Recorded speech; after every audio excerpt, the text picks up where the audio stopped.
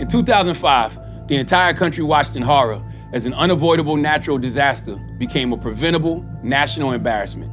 Kind of sounds familiar, right?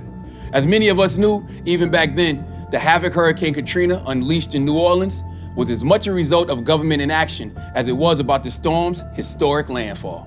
The podcast Floodlines revisits that painful history of a beloved American city and brings it to life in vivid detail.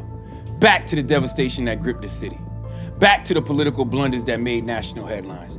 Back to that sense of frustration felt by all those communities who felt left behind. Back the mourning deaths and the loss of livelihoods and neighborhoods, especially and disproportionately black ones. And back to the marvelous acts of compassion and care that residents extended to each other, whether they were small acts of sharing water or driving, boating, and biking each other to safety, in the face of so much trauma and loss, and when help would not come.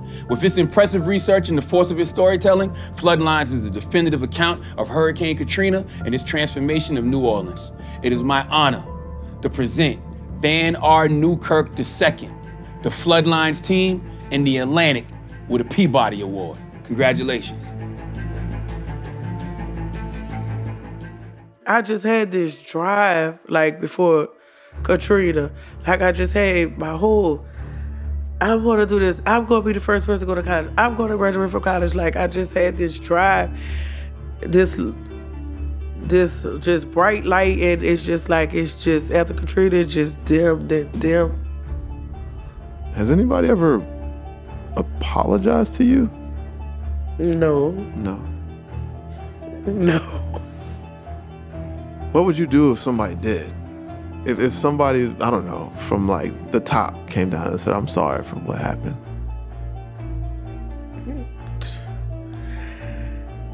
Sorry for what? Like.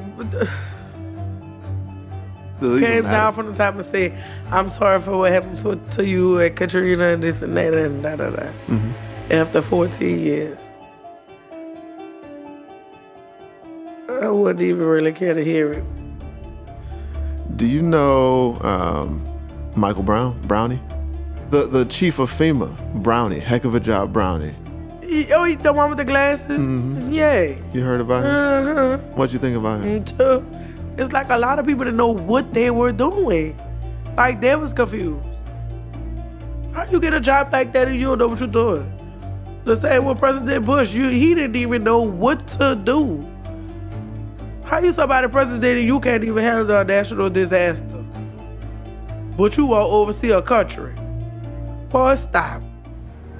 When we first started considering a podcast about Hurricane Katrina, we had to do a lot of thinking about what we could add to the story. The team was small. We couldn't offer something bigger and more comprehensive than documentaries and books that had been done on Katrina. There wasn't a whole lot of news to break 14 years after the flood either. But after interviewing people who'd been through Hurricane Katrina and seeing how much of a presence it still had in their lives, we thought that what we could offer was a considered, nuanced look at the human causes and human consequences of catastrophe through the eyes of those who'd seen it all up close. So we gave it a shot. Those conversations were two years ago. For me, it's been two years of hard work, of the ups and downs of grief and carrying on, and now a time of joy. It is such a wonderful feeling for us to be honored with the Peabody Award and to be counted among this incredible group of stories.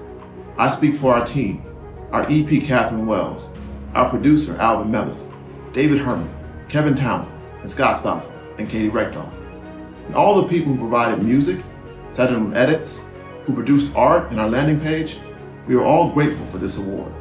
And to all the listeners and all the people who shared their stories with us, we are blessed by your support. Thank you you